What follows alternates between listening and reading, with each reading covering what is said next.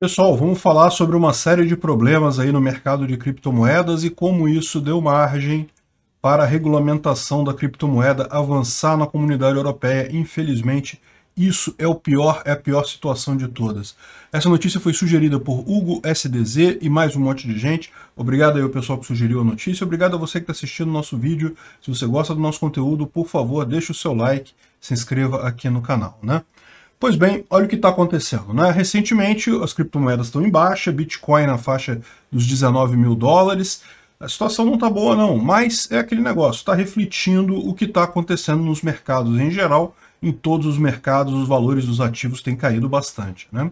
Só que no mercado de criptomoedas aconteceu um fator novo. A gente já falou aqui no canal várias vezes sobre a questão do DeFi, que são aquelas tecnologias novas de finanças descentralizadas. É um negócio muito bacana, eu acredito que isso tem muito futuro, mas como eu sempre alertei vocês, é uma tecnologia muito no início, é uma coisa que ainda está muito preliminar, ainda sendo estudada, cheio de pontos ainda não resolvidos. E infelizmente o que a gente, o que a gente viu foi justamente com essa é, é, queda do valor das criptomoedas em geral agora, com esse mercado de baixa, a gente viu muitos desses projetos terem problemas sérios. Né? Enquanto as coisas estavam subindo de valor, não tinha problema nenhum, tudo funcionava maravilhosamente bem. Uma criptomoeda ou outra tinha problemas com hacker, né, com invasão e coisa e tal, mas no final das contas as coisas funcionavam bem. Agora que o mercado está em baixa, a coisa está apertando. Então a gente já teve vários problemas, a 3AC que é uma grande corretora que é, postava títulos em bitcoins, em criptomoedas, pediu falência, já está em fase de liquidação. A Celsius, que era uma outra empresa que fazia também é, empréstimo de criptomoedas, também está em processo de falência.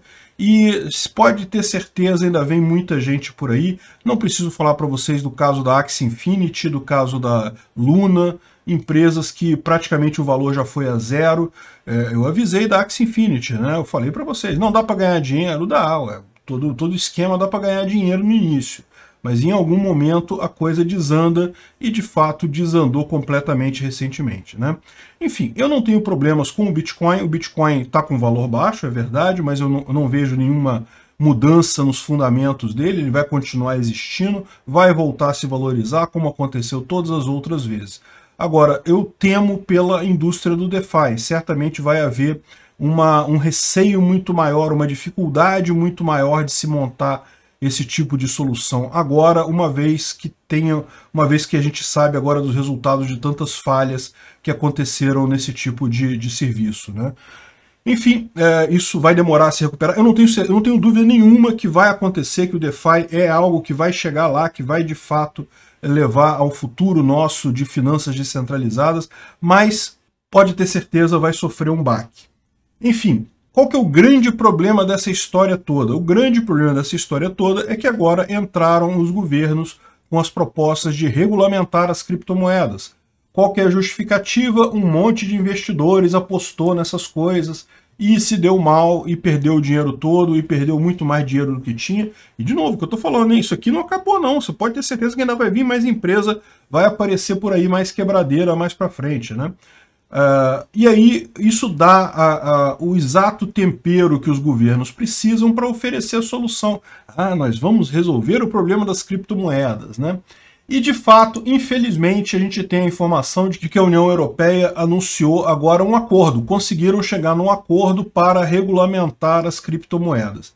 E é um acordo muito ruim, é um acordo que vai engessar muita coisa. Ainda não está aprovado, ainda precisa ser aprovado pela comunidade europeia. Uma vez aprovado pela comunidade europeia, ainda precisa ser transformado em lei em cada país da comunidade europeia mas é, realmente essa baixa das criptomoedas, principalmente com esses casos todos de falha, acabou dando é, combustível para esse tipo de coisa. Né? Infelizmente, a gente esperava que isso fosse acontecer. Né?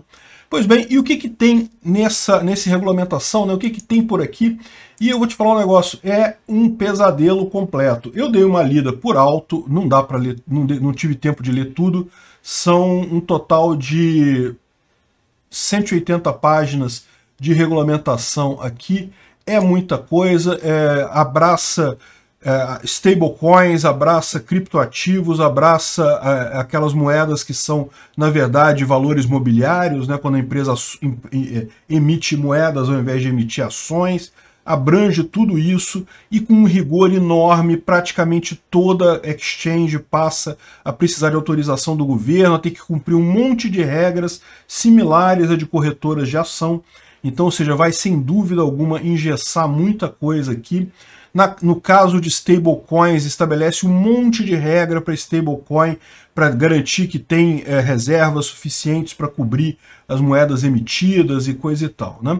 E nesse caso de stablecoins, é preciso notar que é, teve mais problema recentemente. Né? O SDC andou despegando por aí, o que é um problema. A gente não tem certeza ainda se a coisa já foi para o buraco ou está indo para o buraco, mas que a, a, a, a preocupação é, é, significativa, não tenha dúvida nenhuma. Né?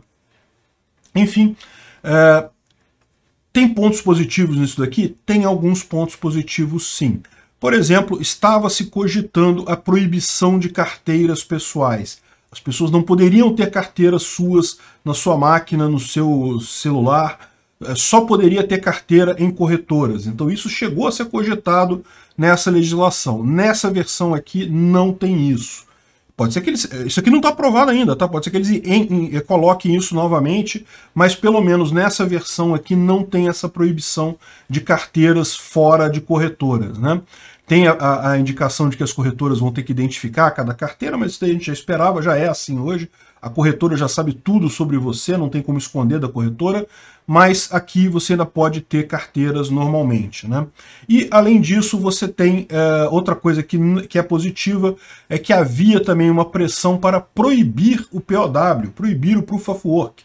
Isso chegou a ser discutido, mas também foi abandonado nessa, nessa legislação. Então, não há proibição do Proof of Work. Porém, porém, existe aqui uma parte em que ele fala que os atores nos, no mercado de criptoativos serão requeridos a declarar informações nos aspectos, no footprint primário, na, na pegada de carbono é, ambiental e climática da sua moeda. Então veja, não é uma proibição. Eles não estão dizendo que proíbem esse tipo de coisa, mas você vai ter que ter relatórios para indicar a sua pegada climática ali. Né? E quando eles falam de atores no ativo de mercado, certamente eles estão querendo dizer os mineradores. Né? Os mineradores, o POW não vai ser proibido na Europa, mas vão incluir um monte de coisa e em dois anos a comunidade europeia pode é, é, exigir algum tipo de impacto e, e, estabelecer novas regras conforme o impacto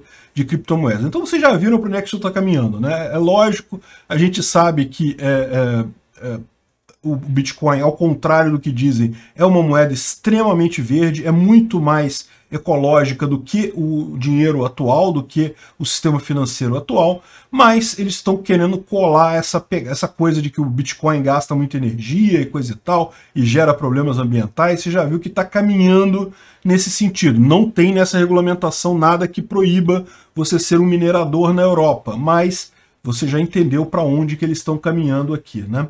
Enfim, é, eles botam muita ênfase, né? muitas dessas páginas aqui são justamente para proteger os investidores, e aí eles colocam basicamente todos aqueles mecanismos de, é, de proteção que você tem no caso de corretoras de ações. Então você tem toda uma legislação sobre inside trading, é, de, de, da pessoa saber informações sobre a criptomoeda previamente e vender, então não pode, tal como valores mobiliários, né? Ou seja, é uma coisa realmente que é assustadora, que vai engessar muito o mercado. Eu não sei como que o Vitalik Buterin vai fazer, porque ele próprio ele não atende isso daqui, ele tem um poder sobre é, proporcional nas, na criptomoeda na Ethereum, né? Enfim, tem um monte de limitação aqui sobre é, esse tipo de coisa para criptomoedas que não fazem sentido nenhum, porque é uma coisa totalmente diferente, é uma moeda mesmo, não é uma, um valor mobiliário, não é um ativo de outro tipo. Enfim, é, é uma coisa realmente, é, é aquilo que eu falo sempre, governo tentando resolver problema, no final das contas acaba piorando o problema muito mais, né?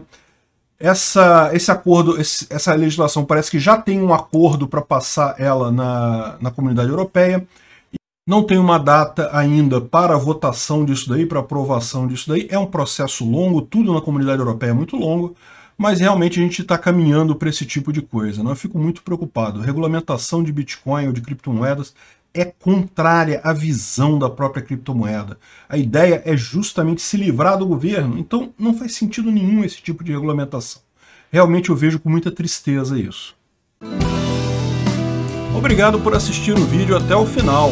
Além de curtir, compartilhar e se inscrever no canal, considere se tornar patrocinador com valores a partir de R$ 1,99 clique no botão Seja Membro abaixo para saber as condições e vantagens de patrocinar o canal. Mais informações sobre o nosso projeto, visite nossos sites indicados na tela.